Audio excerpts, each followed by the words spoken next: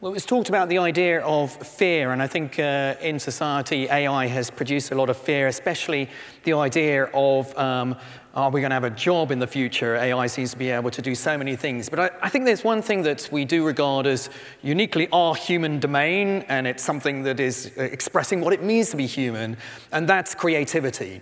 But I think already um, in the exhibition that we're seeing here at the Barbican, uh, there are hints that AI may be even able to, to creep into our uh, world of, of, the creative world. And, and I think the for me, I really saw a sea change that happened in that very famous story a couple of years ago now, um, when AlphaGo uh, managed to beat the world's best uh, player at this game, ancient game uh, of Go.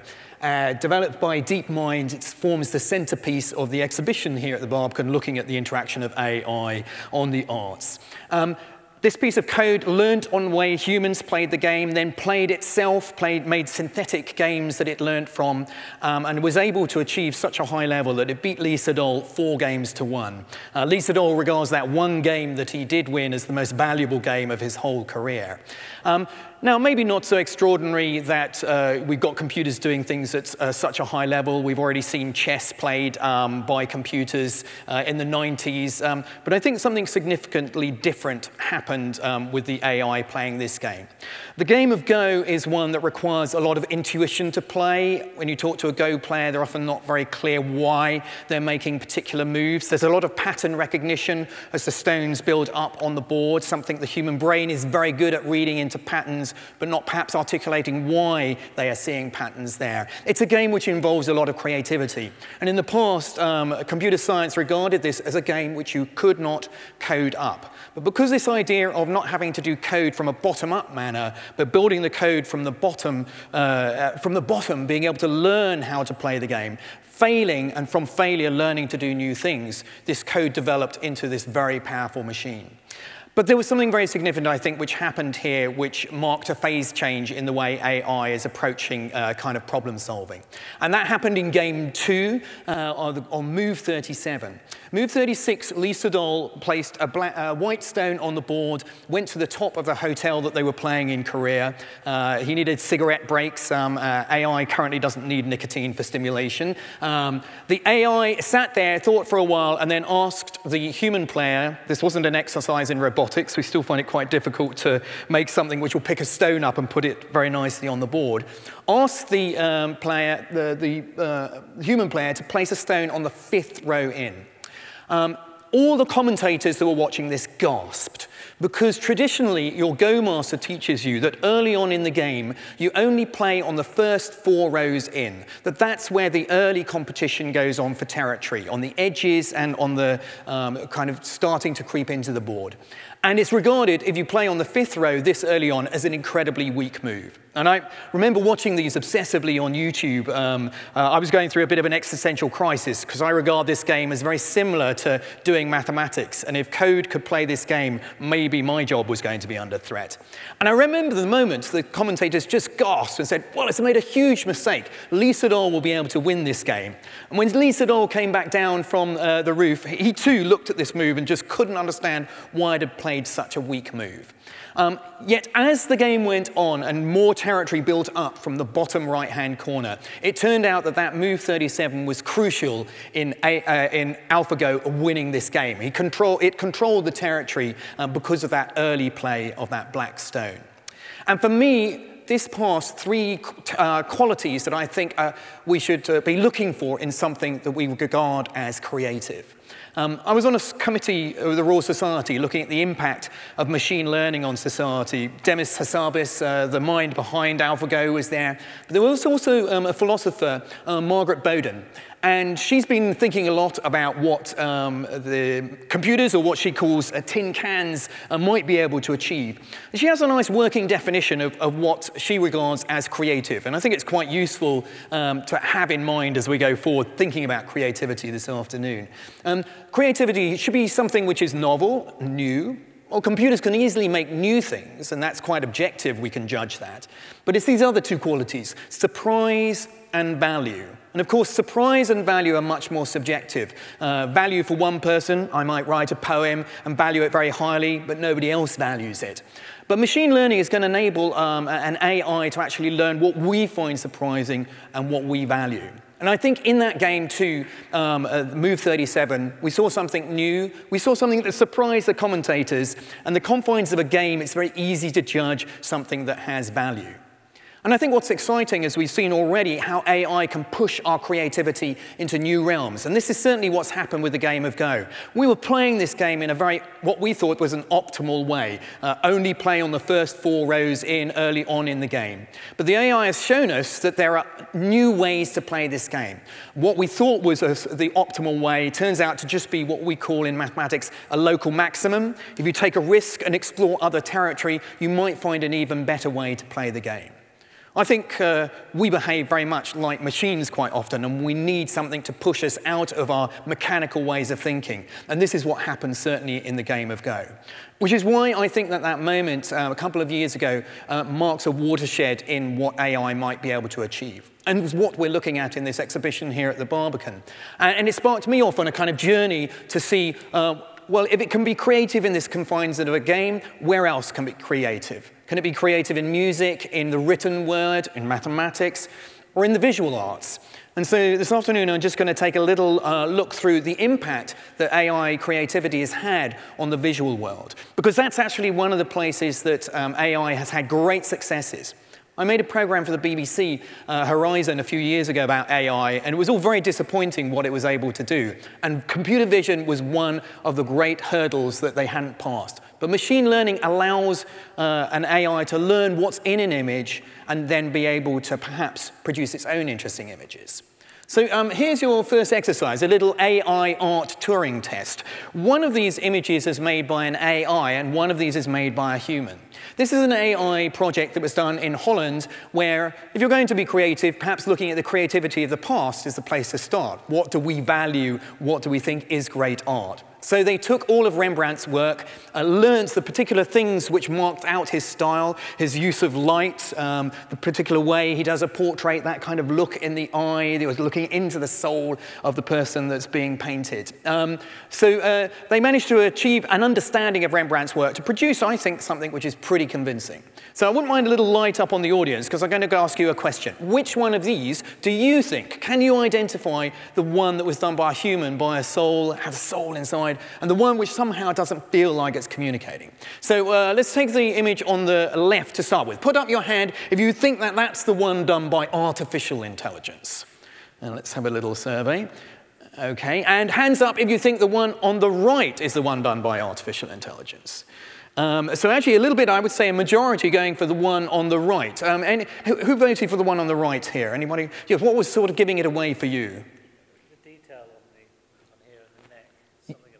Something about the detail on the neck. I mean, I think detail is something interesting. So you felt that meant it was probably artificial intelligence. Okay, so you're wrong, actually. So this is the one done by artificial intelligence. And I think, you know, the fact that you were pretty spit, I mean, that was quite a Brexity vote, actually, I think. It's sort of a, quite uh, committed out either way. Um, uh, but, uh, you know, I think it's a, a, mark of how successful that has been to be able to produce something that split the audience so convincingly. But what's the point of looking at the art of the past, making new things? I mean, AI shouldn't be used for pastiche. It should be looking for, for new things. And, and certainly um, Jonathan Jones, who has anything to do with AI and art, um, really criticized this project. He wrote, um, what a horrible, tasteless, insensitive, and soulless travesty of all that is creative in human nature when technology is used for things it should never be used for.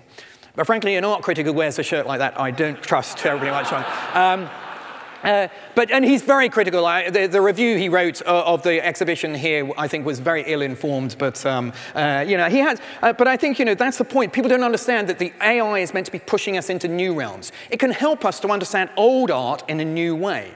But I think the most exciting thing is how can we use this as a tool, as we've seen with music just uh, before, to push us into doing new things. And here are some paintings that have been created by AI, which I think are starting to break the mold. Um, so again, I'm going to ask you a test. Four of these are done by a human, four of these are done by AI. Can you sniff out the AI? So again, uh, let's uh, take a vote. Uh, put your hand up if you think the paintings on the uh, left are done by the artificial intelligence. Hands up if you think those are done by AI. Okay, very, very small number for that. Who, who thinks the ones on the right then? Um, big votes for the ones on the right. Um, so, sir, what was uh, for you the indicator that this may not be human? Looks like a deep learning.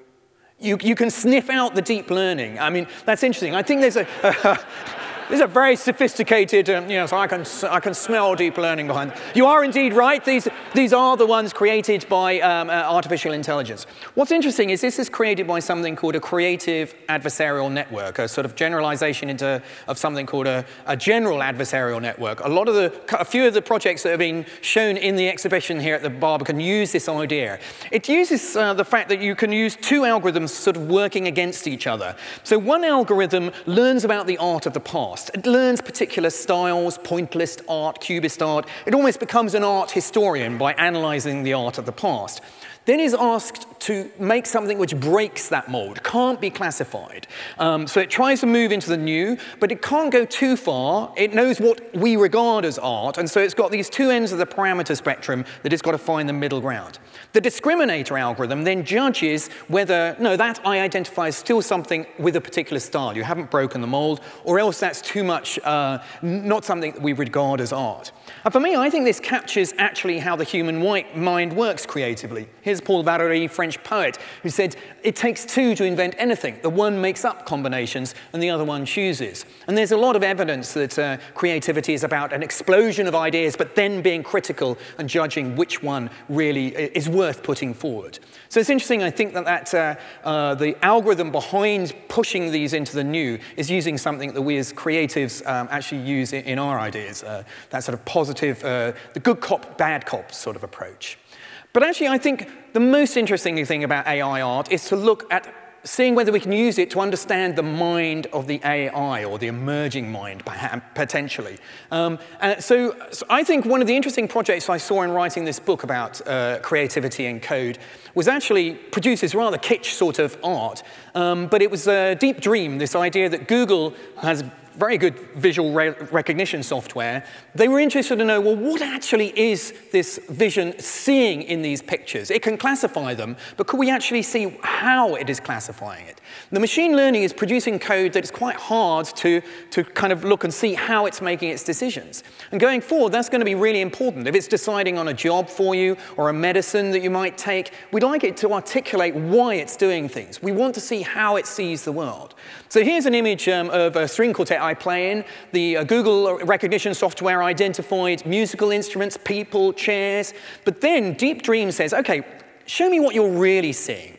Um, and so it says, just dial up and accentuate any image that you can see inside there. So when I put this through Google uh, Deep Dream, this is what emerged. Lots of strange animals, faces, a car which began to emerge out of three lower strings. Um, you begin to understand how the AI has learnt. It's learnt on lots of images of faces, of animals. It starts to give us a sense of, of how it sees the world. And in this way, we can pick out important ideas about bias. Um, uh, for example, uh, these are images, just random pixels that it started to see dumbbells beginning to emerge in this. But all the dumbbells had arms attached to them. And we began to realize, well, of course, it had only ever learnt about dumbbells which were being picked up by humans. It thought it was part of our anatomy. And so by using the art, we can start to sniff out um, perhaps potential biases that are beginning to, to creep into um, this code. And as Marshall McLuhan once said, you know, art is our distant early warning system that can be always relied on to tell the old culture what is beginning to happen to it. Which is why I think it's so important that this event is taking place here at the Barbican. Uh, and we're looking at how the world of music, visual art, uh, plays can help us to understand how this new AI is emerging.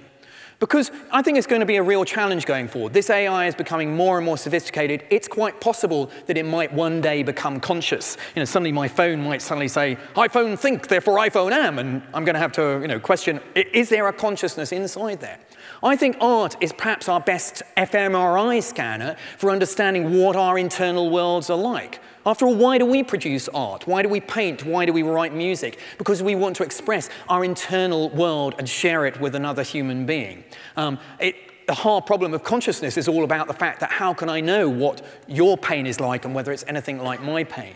And so I think going forward, as AI begins to get or already an internal world that we don't understand, that this, these tools of art and creativity could well be our best way of, of kind of sharing our worlds between us. Because as Wittgenstein said, um, if a lion could speak, well, we're not going to be able to understand him. And as AI emerges, it's going to be a very different sort of internal conscious world if it ever does appear from ours. And its creativity, probably, and its art will be the best way to understand what it might like, be like to be a piece of AI. Thank you.